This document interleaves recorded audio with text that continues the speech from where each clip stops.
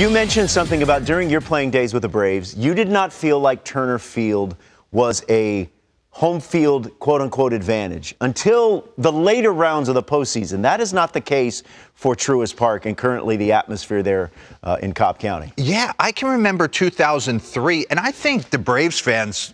No disrespect, I've lived there for 20 plus years. We're almost in a malaise like, hey, we we make the playoffs every year, we win the division every year. We got to get through this division series, and then we'll start buying in. We have three Hall of Fame pitchers. We have Chipper, Bobby, Andrew. I mean, we should go to the NLC. Well, it doesn't always come to pass, yeah. right? And I always felt like, well, where, where's Where the juice in here? Yeah. And I don't know if it's just them moving it to Truist Park, moving it to Cobb County, the defending World Series champs.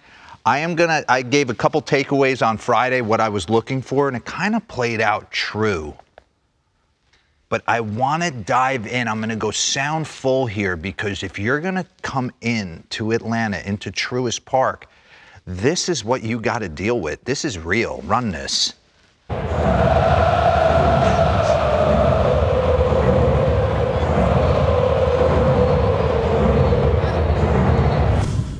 You sure you want to play in the big league? You want to be able to handle that moment? Hey, the Mets had it all in front of them, okay? And I want to take you through this. Jacob DeGrom, we've chronicled him. And he had 11 punchouts, but he gave up three bombs. Can you run that back for me or no? and pause it real quick. We talked about this multiple times at the Skybox. Jacob DeGrom never comes inside. Mm. He always heater away, slider away. So I thought it was real interesting that he tried to shake it up a little bit. Maybe he knew the Braves were going to lean out over. Guys were going to try and take him up the middle the other way. Here's a guy trying to reinvent himself where I don't necessarily think he has to. And he tries to execute a heater in, doesn't get it in. Dansby, you're a winner, son. I mean, it's real. It's every time making big plays in big moments. Max Scherzer sitting down watching this game Saturday night, he didn't have it. He didn't have his big heater. He didn't have great command. He was grinding. He gave you his heart. He gave you everything. But at the end of the day, he didn't have it, and the offense wasn't able to pick him up. And then Bassitt yesterday, more the same. Got into a certain situation oh. where he oh. couldn't slow the moment down, and it ended up costing him to let the Braves back in it. Matt Olson, Wow, he has gone off lately. So nice to see. He went through an epic 9 for 81 slump recently and oh. has found his timing and rhythm. Five for nine, three homers, five RBIs against the Mets this weekend. He's got five bombs in his last six games. And I thought this was the momentum shifter. You talk about instincts. Mm. Your instinct is to touch it. Yeah. We all want to touch it. That's that's the title of my book. Damn right it is. but he lets that go by. It could have been 4-1. Also, Austin Riley, Mets get out to a play, man. right? How do you not Ow. grab that baseball?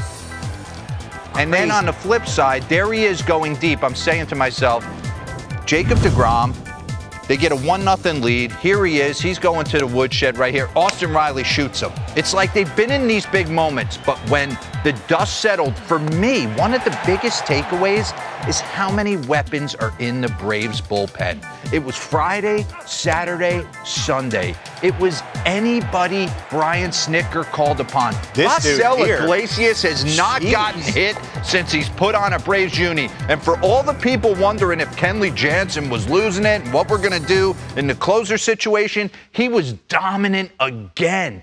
Dylan Lee coming in in the fifth. McHugh showing emotion right there. Look at this Look bullpen. At this. Catching fire. And they Jesse did the same Chavez, thing last year. Minter. It's the same thing last year with the bullpen. Um, I, I, I, think, and I've said it, I said it about six weeks ago. I think they're the most complete team in all of baseball, and I'm including the Dodgers. Are you including I'm, the Astros? I'm, I'm, conclu- I'm including the Astros. I'm going to say something, Mets fans. You, regardless of the division, this is where if the Braves do clinch, this is where I feel like a meeting gets called. Time out. We are not going to fold. We are too talented. We have two of the best starters this game's ever seen, not just in the game today, ever. And we can go on a run. Jeff McNeil, hats off to you. You showed up in a big way. You rake. But I, I think the thing for me is the Mets can't allow themselves to just go into a hole now because they're going to wind up when the Braves do win this division, and I fully expect that to be the case. They're going to stare the San Diego Padres, looks like, in the face, and we're going to talk about them in a second with Yu Darvish, and Blake Snell. So, Yeah. Scherzer will be the guy to deliver that message, and he will deliver it well. Somebody. I'd like to see Buck deliver it because he got interviewed yesterday in the middle of the game, and, and he's like, "Oh, it's just another game." Ah, is it? By the way, the in-game interviews with the managers make me nervous. Uh, it's It's not just make you another nervous, game. I, I, I wish they would stop because it's it's uncomfortable. but you get some sound bites. Do you? Sometimes. I mean, no disrespect, you really don't. Okay. But it just gives me the don't anything bad happen while he's being interviewed. So much to digest, right? Who would have thought? I would have Hey. never put the Braves on a sweep right there. Brian Snitker said he drove to the yard on Friday and told his wife the postseason starts tonight. Sweep? Did. That's big time right there.